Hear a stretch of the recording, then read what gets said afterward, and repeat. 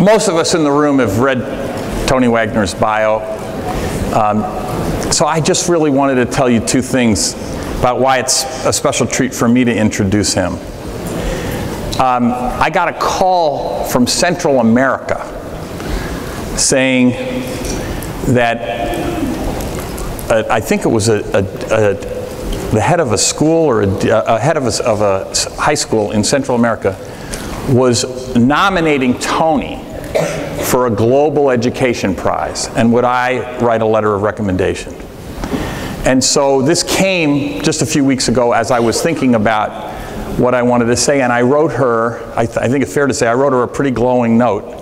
But what I said to her was two things. The first is, is that when we started the 21st Century Skills Movement in 2001, there were two books that defined and propelled the movement.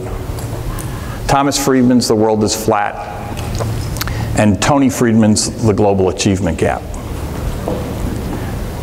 Friedman helped us understand the nature of the global economy, but I'm not sure any of you remember that he hardly touched the subject of education. It was Tony's book that really made it clear that education was an essential element, and it created, the book created, an incredible dialogue between the education community and the business community about the future of education. And then the other thing I said is, is that since we started Ed Leader 21, Tony not only serves on the advisory committee, but not a month, literally not a month goes by, where somebody from some school or district calls and says, I'm interested in Ed Leader 21, and Sarah Mobley or I will say, well, how did you hear about us? And she said, Tony Wagner told us we got to find out about you. So Tony has not only been a great friend of Ed Leader 21, but I think we all feel has really been one of the two or three thought leaders that has really created the movement that we're riding, and we couldn't be more pleased to have him here. Please, a warm welcome for Tony Wagner.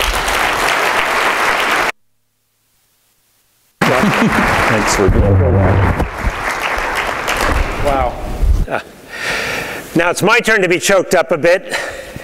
You know, I don't normally get nervous very much when I give talks, having done a few, but this group makes me nervous. You guys are without question the best leaders I've ever met in education. I've had the privilege of knowing some of you and working with a number of you over many years. And Ed Leader 21 is doing the most important work in education today. You know, I just write about it. You guys are doing it. So for me, to, to be very honest, it's pretty humbling to stand here in front of you.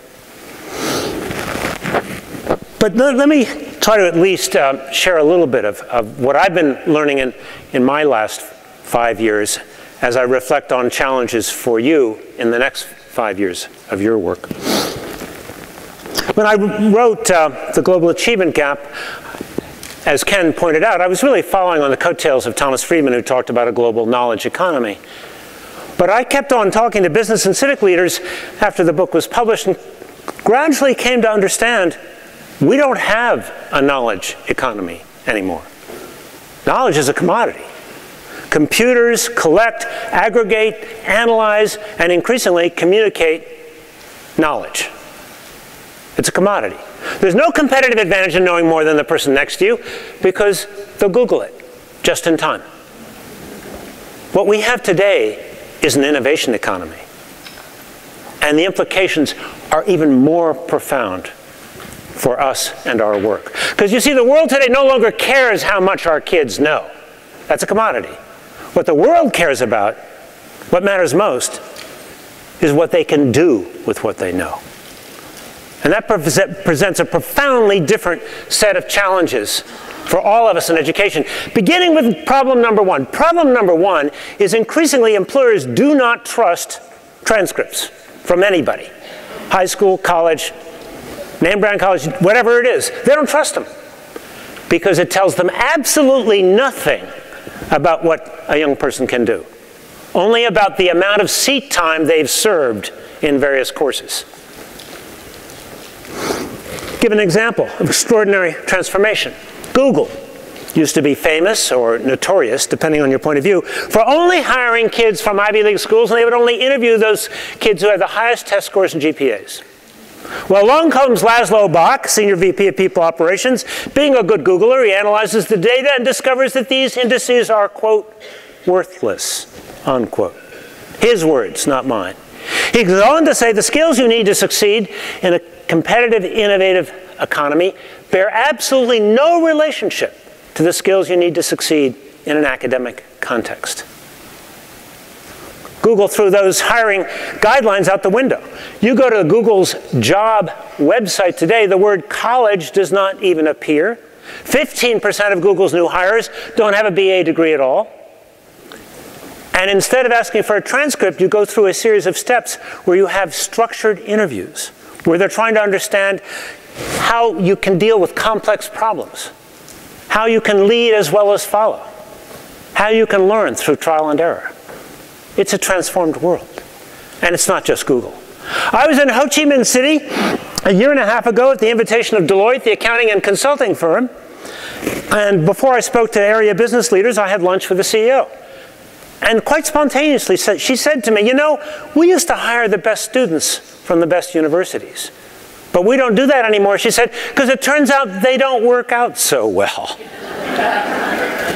Now, she said, what we do is look for good students and we put them through a summer long boot camp to see how they solve problems collaboratively. We're living in a radically different world.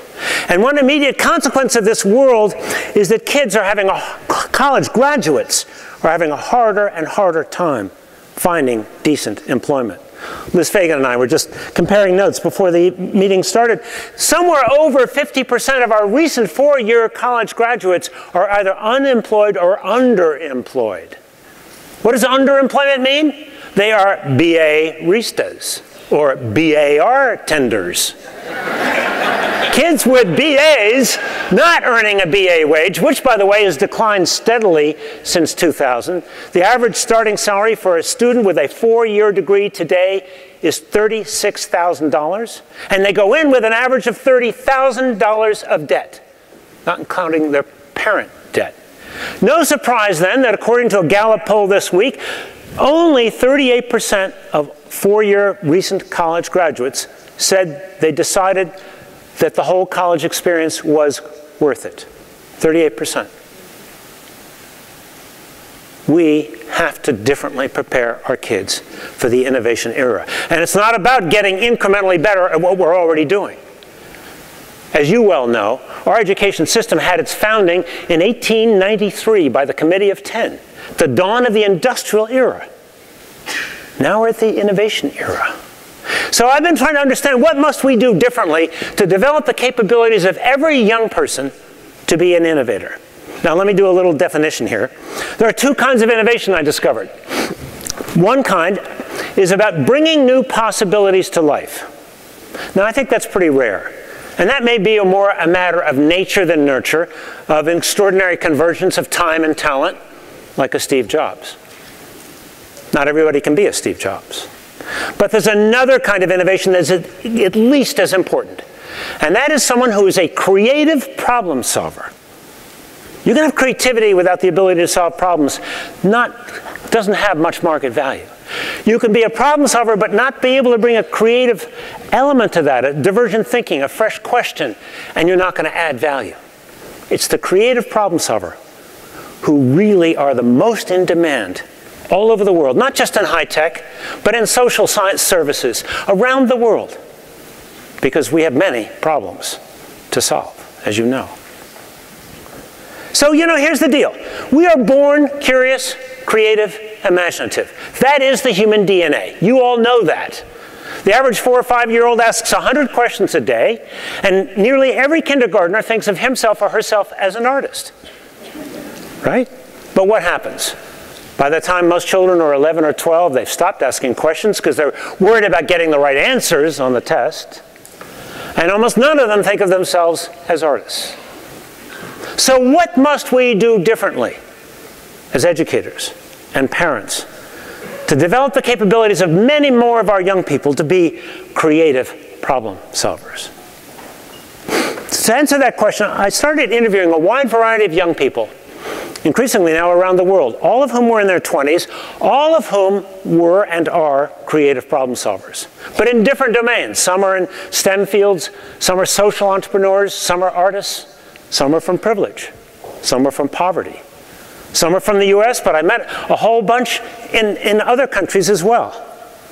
I tried to understand what had made the difference for them. How had they developed these capabilities? Asked them about the parents, about schooling. I interviewed all of their parents to see if I could discern patterns of parenting. I asked them about their schooling, and it, that led to my first very troubling discovery.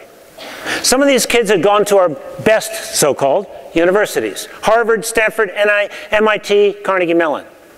And they all told me they had become innovators in spite of their schooling, not because of it. Reinforcing exactly what Laszlo Bock found at Google. But I didn't accept that. I said, well, come on, tell me at least about a, a teacher who's made a difference in your lives. All could name at least one, rarely more than one or two. So I went and interviewed all of those teachers. That led to my second very troubling discovery. In every single case, the teachers who'd made the greatest difference in the lives of these young people, and some were as, as, young as first grade teachers all the way to graduate school teachers, in every single case, though, they were outliers. Teaching in ways that were fundamentally different than their peers, yet remarkably similar to one another, I discovered as I interviewed them and watched some of them teach.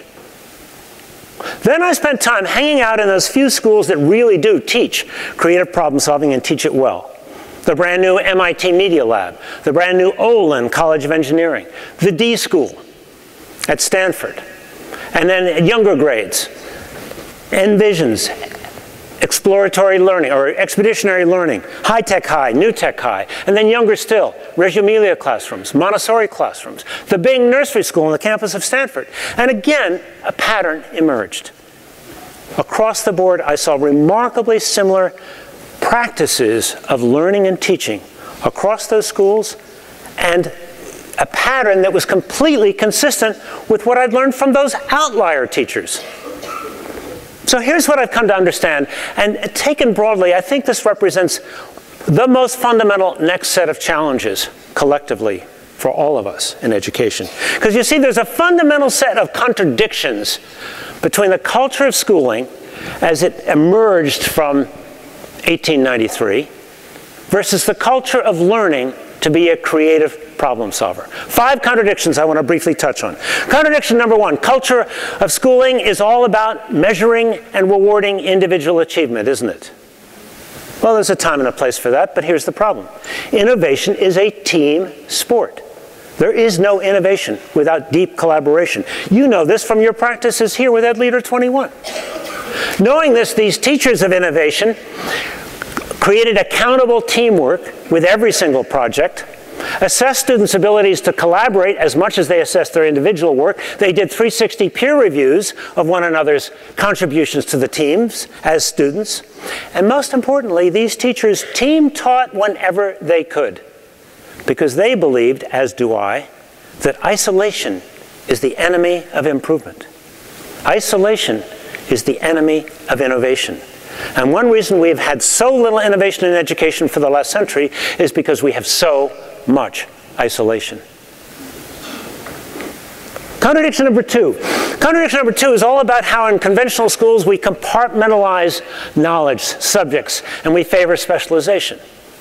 Well, that's fine, there's a role for that, but here's the problem. Innovation happens at the boundaries of academic disciplines, never within them. Judy Gilbert, then director of talent at Google, said to me, There's one thing educators must understand it's that problems can neither be understood nor solved within the bright lines of individual academic disciplines. Knowing this, these teachers built courses around a big question or a big problem that could not be solved or addressed using just one academic discipline. Almost every course was multidisciplinary. Contradiction number three it's about the culture of the classroom. Culture of classroom in too many places that I visit, especially high schools and colleges, it's a culture of passivity. It's a culture of consumption. where kids' job is to consume as much information as possible and then regurgitate it. It's a culture of infantilization, ultimately, because there's only one expert in the room, and that's the one at the front doing all the talking. Very different in the culture where you're learning to be a creative problem solver because there the emphasis on creating, not consuming. The emphasis is on empowering students, and the teacher sees his or her role as primarily that of a coach, coaching students to a higher performance standard. Contradictions four and five, I think, are the most challenging of all. But you see, contradiction four is all about the F word. No, not that one. Failure. Failure is the worst thing that can happen to anybody in school, and it's the number one bad dream or nightmare of most of us as adults. Fear of failure, I think, in fact, creates not just a culture of compliance, but a culture of severe risk aversion in education. Because we educators are not the only ones afraid. The kids are afraid, but we're also afraid. We're afraid of uh, looking bad in front of our peers, our kids, our parents, the principal, the superintendent leads to tremendous risk aversion. But here's, a, here's an stunning, stunning thing I learned. There is no innovation without trial and error.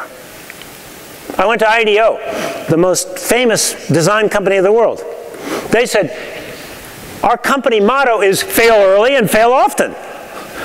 Uh, don't take that back. They, they won't understand that back home. Other companies talk about failing fast, failing forward, failing cheap, but fail. Because it is only through trial and error that you iterate. I talked to a uh, teacher at the D school at Stanford. He quite seriously said the following to me. He said, you know, I'm more and more thinking F is the new A. Now, don't take that back. It needs definite work. But it all became more clear when I talked to a young woman from the Olin College of Engineering. She said, you know, we don't talk about GPAs or worry about that much, but we obsess about iteration my new favorite word, going from 1.0 to 2.0. And think about the skills you need to iterate. You need to be able to critically analyze your own work. You need to be able to self-assess and help others assess their work. You need to be able to reflect on what went well and what didn't, and then apply that learning to your next project or your next course. But more deeply, I think we need to understand something profound here. There is probably no real learning without trial and error. How many of you have learned more from your mistakes than your successes? Raise your hands. Exactly, we all have. How many of us think for a moment about, you know, how kids learn? What if we said to a kid, I'm sorry, you can't walk until you can walk in a straight line, none of this crawling business, no falling down, and oh, no speaking until you can speak in complete grammatically correct sentences. No trial and error here. And bicycling, ah, that's out, because we know you're going to fall and skin your knee. I think there is no real learning without trial and error. Important learning. So I'm coming more and more to think, and this is one of the challenges I would put forward to you, is to rethink grading. I really do mean I want to get rid of that F word in schools. The only failure that I can see is the failure not to show up, the failure not to try. Everything else, from my point of view, is work in process, incomplete.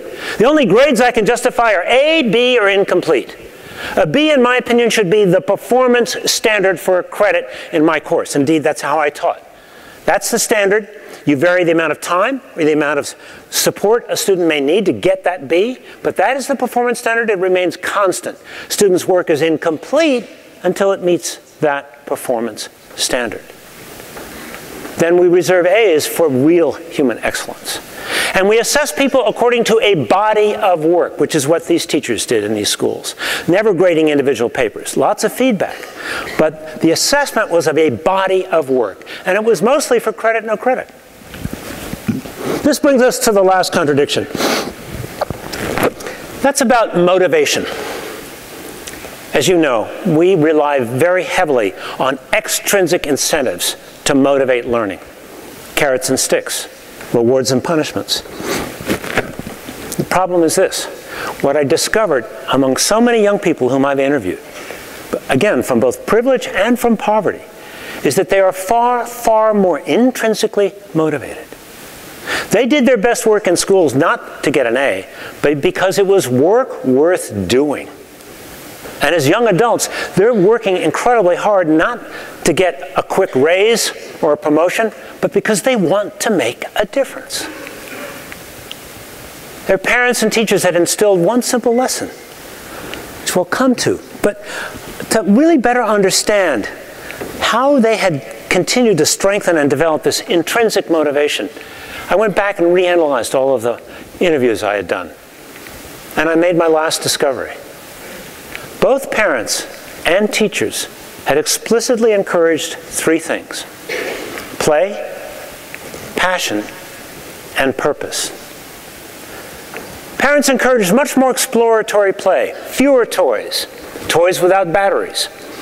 As young children, it's sand, clay, paint, blocks, water. And then everyone's favorite as they grew older, Legos. Parents limited screen time to a significant degree. Teachers tried to bring a spirit of play back into the kinds of assignments they gave their students. Ed Carryer, who teaches engineering at Stanford, taught about bringing an element of whimsy into his curriculum design and the kinds of projects he gave his teams of students to work on. The extraordinary thing was, though, that as these kids grew older, these parents were very intentional about trying to give their kids, to the extent that they had resources to do so, new opportunities to explore new interests, to try new things. And here's the thing that was so interesting. You know, we've been talking a lot about grit, as well we should. Grit being more important than IQ for adult su success and well being. But we haven't talked much about where grit comes from. Perseverance, tenacity, self regulation, self discipline, I have come to learn, are all best developed in the context of pursuing a real interest that can become a passion. And it begins with curiosity. Here's a simple idea for all of your students. Have them keep a question journal. So they go through their school day, their school week. Write down the questions that occur to them. Meet occasionally with them and say, well, what, of all these questions, what, what one might you want to pursue? Come to that in a moment. But curiosity begets interest, which can in turn develop into deep passion, which is how we develop those essential capabilities related to grit. But you know what happened was that these kids, their interests morphed and evolved as they became young adults. But in every case, they matured to a deeper sense of purpose, desire to in some way give back or make a difference.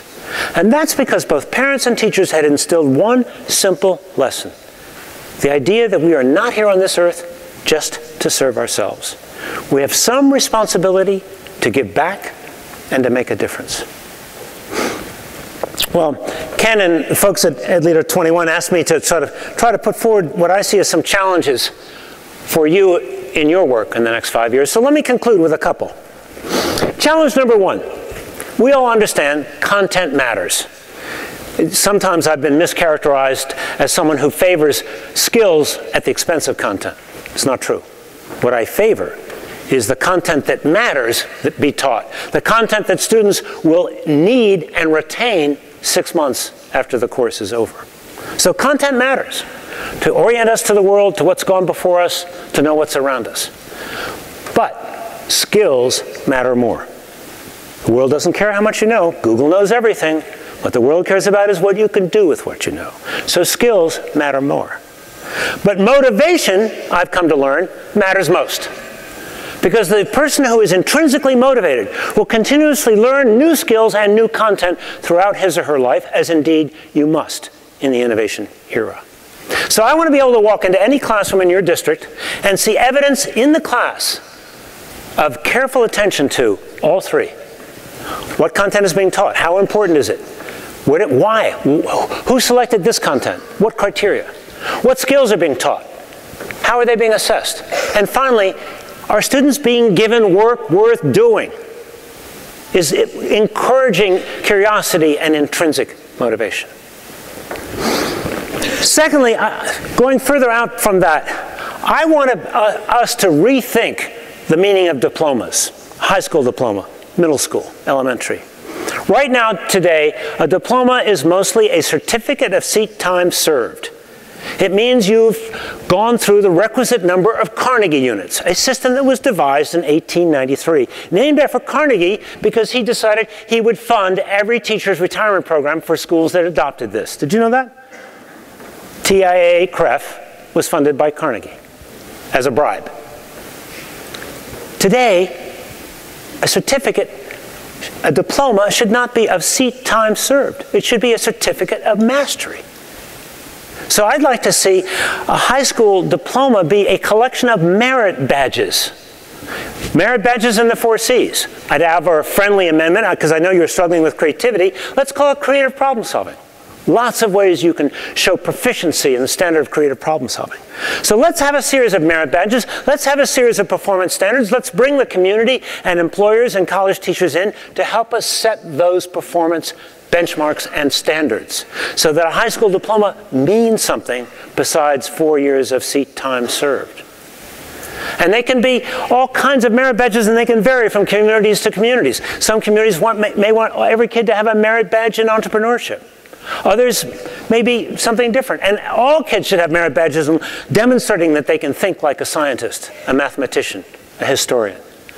The uh, New York Performance Standards Consortium has been doing this for 20 years and has gotten uh, permission to not give New York Regents exams in lieu of students having to present and defend their work to a performance standard. State of New Hampshire, first state in the country to say you no longer have to have Carnegie units to graduate. You can instead demonstrate proficiencies. And here's the really hot and exciting news. Several months ago, the U.S. Department of Education gave the first waiver to New Hampshire to work with local school districts, two so far, to develop local performance standards in lieu of testing.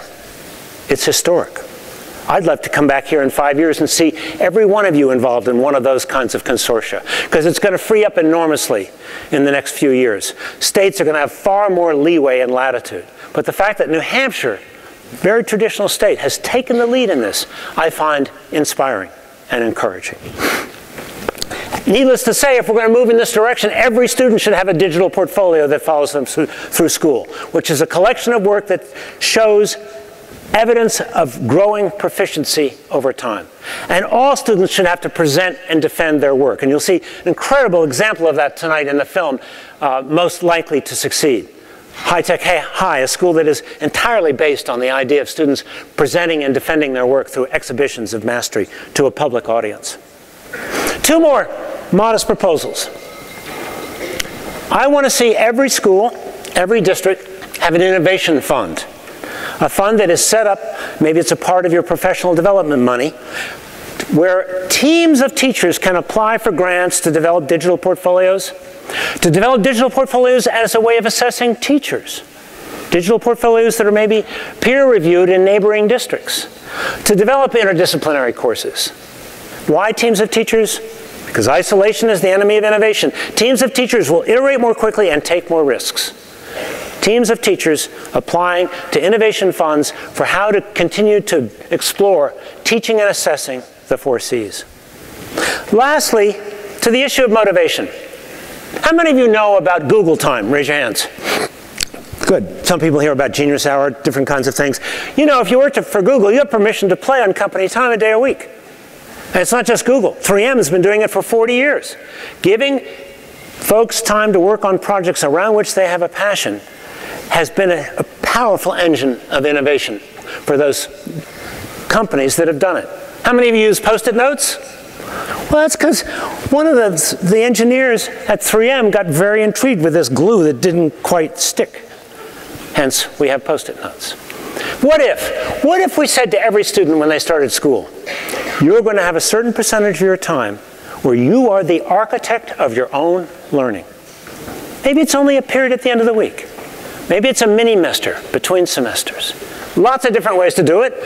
I've had emails from lots of teachers trying it. A high school teacher emailed me recently saying, you know, I've made every Friday Google time. She, he said, the amazing thing that's happened. He said, I've had to completely rethink how I see and assess my students because first Friday, the kids in the front of the room all just stood there like that.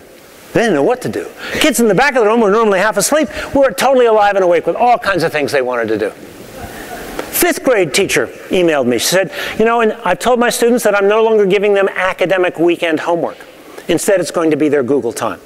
She said the first Monday they came back, she was stunned. She, was, she could not believe the energy in the room. One student had spent the entire weekend looking at YouTube videos in order to learn how to play the guitar. Another student had cooked three new entire meals that he wanted to explore. A young woman of Asian descent had explored her Chinese background, which she had never had a chance to explore previously. This teacher said she had never seen such an excitement and, and a curiosity in her classroom. So let me stop at this point because I really want to hear your questions, your comments, because that's what I'll learn from. So I'm going to stop and invite you. I think there are going to be a couple of mics in the back, if they aren't already, to come with your questions, your comments. While you do that, I'm getting a glass of water.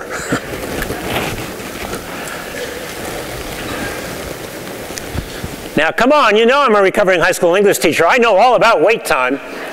We got 15 minutes here, guys.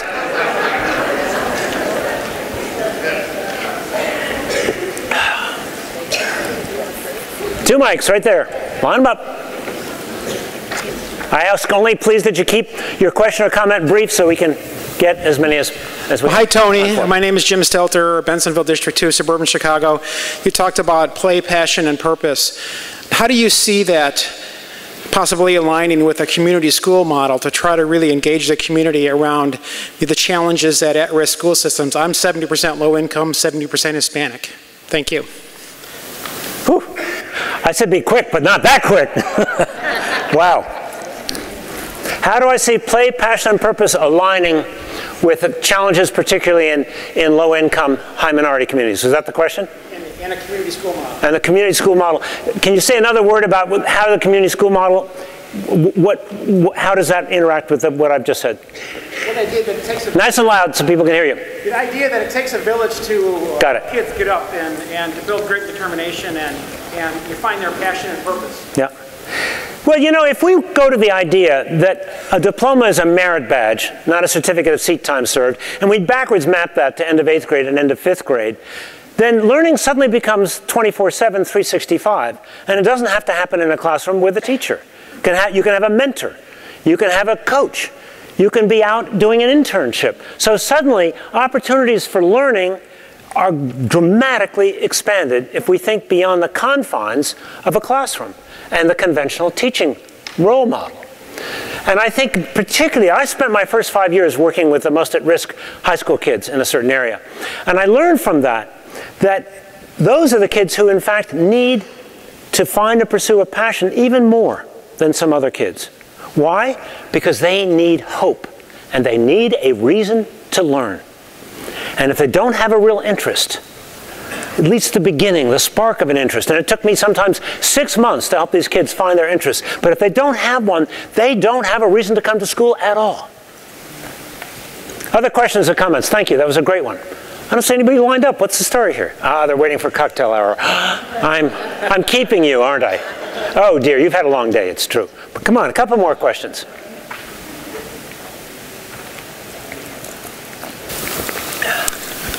Hi, um, excuse me, Michael Storsley from Leyden High Schools, just outside of Chicago. Um, how do you think your model, or what you're suggesting, jibes with the push toward advanced placement courses? Um, I have to go now. I hear my airplane calling me. my question. To, to the credit of, uh, of David Coleman and other folks, they are trying to change AP courses. But they're running up against tremendous opposition from college teachers who are deeply, deeply wedded to their content. But there's a countervailing trend of more and more colleges no longer giving credit for AP courses, Dartmouth being the most recent. So I think, you know, for me, the best solution is the one I found at Scarsdale High School. Anybody here from Scarsdale? Well, what Scarsdale did, it took them a couple of years, but the teachers rebelled at the high school. Said, look, we are tired of stuffing the goose. We're not going to do that anymore. Oh my goodness, the parents were so upset. The school board, blah, blah, blah. It took them two years. But what they said is, look, let us create an advanced topics curriculum working closely with college teachers. Mm-hmm. What a radical idea. They did that. You know what happened to their admission to the most selective schools? And this, by the way, 60% of their kids go to the most selective schools. That's why the parents were so up in arms. But you know what happened? Their admission to those most selective schools went up, not down. We don't need AP, and AP does not need us. Other questions, concerns, disagreements? Yes, please. So my, my, Colleen Palmer, Weston, Connecticut, my question was very much aligned with the intersection of K through 12 education and higher ed and how the misalignment when we um, use all of the best practices in K through 12, student choice, authentic learning, performance-based assessment, and when the rubber meets the road, it's all about the college application and the pressure that our kids face at the secondary level corrupts and contaminates Yes. the work that we do. And so if you have any advice for how we can bridge that besides just the AP example you gave, I would be most Yes. Well, first of all, we have to engage parents. I've been to Weston, I know your community. And the first thing Weston parents need to understand is yes, all of their children are stunningly talented and all of them are above average, but very few will ever go to an Ivy League school. The demographics are against them. They're too white and too rich. If you really want your kids to go to a, uh, an Ivy League school, this is what I tell parents, you better move back to your reservation in North Dakota and have your child discover the cure for cancer while taking four varsity sports. then maybe you'll have a shot. So quite seriously, the odds of kids getting into these kinds of schools, as you know, is less than 5%. But there are more than 850 schools and colleges that are completely test optional. Good schools, Middlebury, Bowdoin, Bates, Colby, Mount Holyoke. There are a lot of selective schools that don't require an SAT or an AP exam. And more and more colleges are open to looking at student work. Bard College recently just said, if you can write four essays to our performance standard, you are automatically admitted to Bard. We don't even care if you have a high school diploma. They admitted a significant number of kids on that standard a year ago, and they did just fine. So I think we're going to see movement in, in a different direction. If for no other reason, the colleges have to prove today that they can add value. A prestigious diploma is not worth anything in the way that it once was. Recent research from Gallup and Purdue, working on this very important study of college graduates, discovered that where you went to school, college that is, no improvement in income by your middle age, Yes, right out of college, you earn a higher initial salary. No impro- improvement by middle age. And most importantly, it didn't, where you went to college did not impact your career. You know what did though? What you did in college. That's what mattered. That's what made the difference. Not where you go, it's what you do when you get there. Most of our leading business and community leaders went to state schools. So I finally say to parents, like those at Weston, worry about graduate school if you want to worry about something. Send your kids to a good state school and save up for graduate school because there it does matter where you go. Last question I got, because we have two more questions, then we got to stop. All right, Novato, California, Novato Unified School District. My question is around student collaboration and engaging parents in that. So, common question of parents my student does all the work, Yep. so they're not learning anything. What do we say to them? Yep. Well, I'd suggest you talk to Rick Lear here, who worked at New Tech High. They were one of the very first schools that developed rubrics for students to do peer review in their teams. That's one simple solution. When students know they're being peer reviewed and that they're going to be assessed by their peers on what they did or did not contribute to the project and the team, things begin to change. Secondly, you cold call. You don't say, okay, now you team, you pick the person who's going to present your project. No, you don't. Say, Steve, tell me what your team did and what you contributed to it. You cold call when you have teams working together. There's two simple things I've seen work. Yes, please. Hi, uh, Deb Kerr, Brown Deer, Wisconsin. And for those of you who understand what's going on in terms of the politics in Wisconsin, we've had a little bit of conflict and controversy um, as of late. Um, and so, how, how would you recommend that we help our legislators understand the connections to learning and what learning should look like to best prepare our kids for their future? I, I think that's a really important question to end with because it goes right back to the incredibly pioneering work Ken did beginning in 2001, Ken and his colleagues at the partnership. Look, we got what I call accountability 2.0, not because policymakers woke up someday and said, let's think about how to torture teachers. they might have, but no, it was because of business leadership. People like David Kearns at Xerox, Lou Gerstner at IBM. Business leaders began lobbying They had a national conference in 1996, in fact. All the CEOs came, all the governors came. You know how many educators came? This many. And they were invited as observers only. So we got Accountability 1.0 on the backs of educators, but we got it because business applied pressure. Now, the problem we have today is that too many business leaders say, well, I'm running a multinational or I'm investing in robotics, doesn't matter so much anymore. We need to find local business leaders who will ally with us and who will be very, very clear about the outcomes that matter most. This is one of our most important tasks. We have to be proactive and advocate for Accountability 2.0 with our business and civic leaders. Get them to help clarify what are the outcomes that matter most and get them to lobby for an accountability system aligned with those outcomes. That's incredibly important work for the future. Folks, um, hmm. hard to know how to end a conversation like this. You know, I, uh, being a recovering high school English teacher, I'm somewhat obliged to quote literature at some point, as some of you may know. But uh, you all, I'm sure, because you had such great English teachers, remember the opening to Tale of Two Cities, don't you? No? I'm hurt. I'm shocked. It was the best of times. It was the worst of times. These are extraordinarily challenging times in education. I don't need to tell you that. You live it. You know it.